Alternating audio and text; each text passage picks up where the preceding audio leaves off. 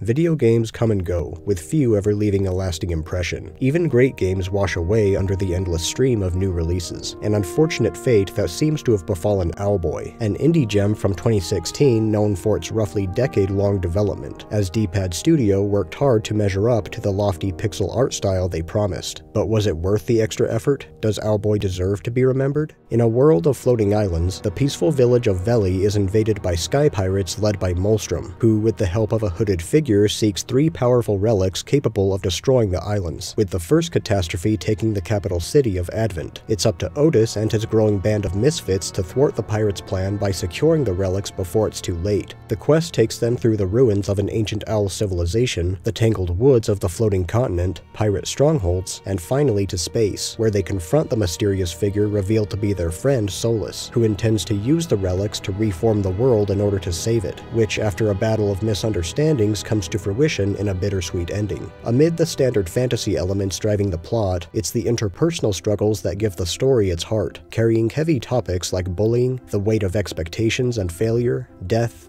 loyalty, and most of all, friendship. The obvious crown jewel of Owlboy are the graphics, featuring the most beautifully detailed pixel art I've ever seen, elevated by great animation breathing life into its characters and environments like few pixelated games do, and aided by a lovely soundtrack. Nearly everyone, no matter their significance, has individual designs and personalities. Much of the map is interconnected, and there's even day and night cycles in the hub areas. The game makes special effort to give grounded explanations and attention to typically ignored video game tropes and mechanics, like how the silent protagonist Otis is a literal mute, or a teleportation device used to summon allies being created by a technologically advanced society. All these things help the world of Owlboy feel real and organic. It's the kind of polish I would expect from a Nintendo game, which is a big compliment. However, this professionalism doesn't make Owlboy impervious, as there are some notable blemishes. The fixed camera angles and screen shifts can lead to unfair damage as players get blindsided by hazards just out of sight. The screen shake effect is way too prevalent and excessive, making it hard to appreciate certain visuals and moments. And after long play sessions, this focus jerking can be headache-inducing. Depending on the version, there are a handful of bugs. The ones I encountered on Switch were miscalculations of my collectibles, a glitch during a boss fight forcing me to reset, and missing animation turning a few scenes awkward. Gameplay consists of combat, exploration, stealth, puzzles, and platforming. Otis can fly, grab, and spin by default, with additional abilities coming from his three companions, best friend Geddy, who wields a basic pistol, former pirate Alphonse and his fiery blunderbuss, and troublemaker Twig with his webs and grappling capabilities. These buddies are nice and distinct, though Geddy does get outshined by the other shooters, demonstrated when his absence after recruiting Twig proves pretty inconsequential, which is both a story and gameplay shortcoming. Regardless, the levels and enemies are excellently designed around the party party's gadgetry, and no one feels useless for too long. While there could have been a smidge more variety in the common enemy department, boss fights are consistently great with unique designs, music, and attack patterns. Fruit replenishes health, and a fuller health bar increases speed, which is a neat extra reason to avoid damage. Unfortunately, few areas allow for this fast movement, with most demanding patience to avoid detection or gingerly maneuvering through dark or cramped mazes, and this relentless stop and go forces a less kinetic pace than I would like, not to mention the incentive to slowly and methodically explore environments for hidden treasure. More on that later. Another inconvenience is the controls. Flying is split between two buttons, an initial jump and a dash. With how much more common and useful it is, I instinctively try using the dash input for takeoff both grounded and airborne, so requiring a separate button just to get off the ground feels unnatural. It'd sort of be like if Kirby's float ability was mapped to a different button. And with flight being a major component, I expect a little more streamlined access to it. Perhaps if the dash could initiate hovering no matter Otis's orientation. On keyboard, inputting up jumps automatically, and I wish this option applied to controllers as well, similar to Smash Bros. There's also extensive use of all bumpers and triggers for different actions, which gets slightly confusing when switching between companions. Even after multiple playthroughs, I find myself fumbling over which buttons do what, making chaotic moments more stressful than they should be,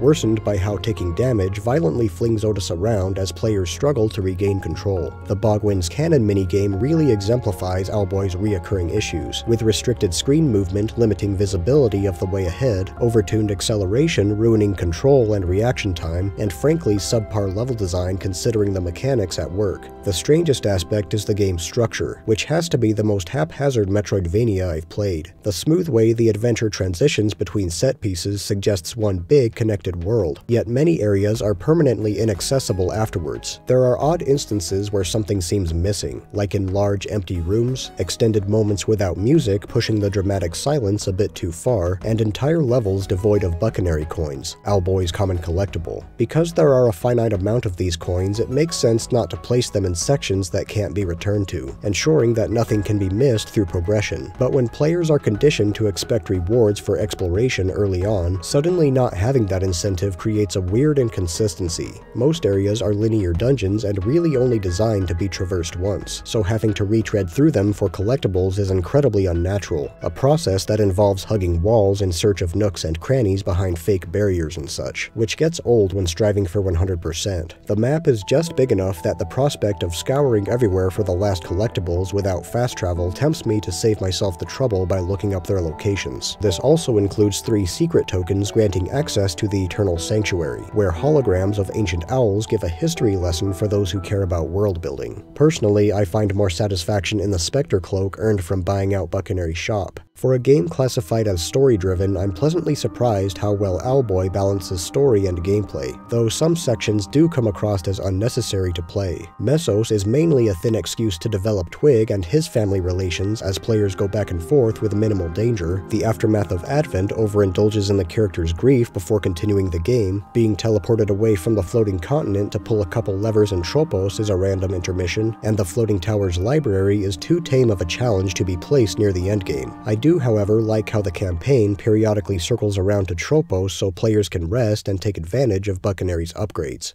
Owlboy is a reflection of everything the team went through making it, which is to say a series of ups and downs. The adventure is a visual splendor from start to finish, with breathtaking vistas, lush greenery, and inspiring enemy and character work. It is the game that taught me to appreciate pixel art. Beyond the set dressing, however, I'm left with a sense of longing when observing the entire package. From the control and structural oddities, to the less desirable gameplay segments, I dread more things than I look forward to with every revisit, yet still come out believing the game deserves credit credit for its successes and doesn't belong lost to the waves. Is Owlboy worth remembering?